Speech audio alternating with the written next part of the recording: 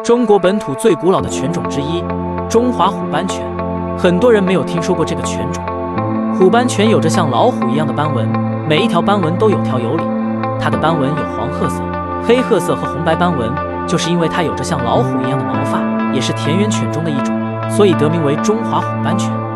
虎斑犬属于中型犬种，在古代是皇家行列的狩猎犬，曾获得斑锦标的美誉。不仅勇猛善战，还聪明易训，虎头虎脑的也非常漂亮可爱，适用于家养陪伴、看家护院、狩猎、做种繁殖。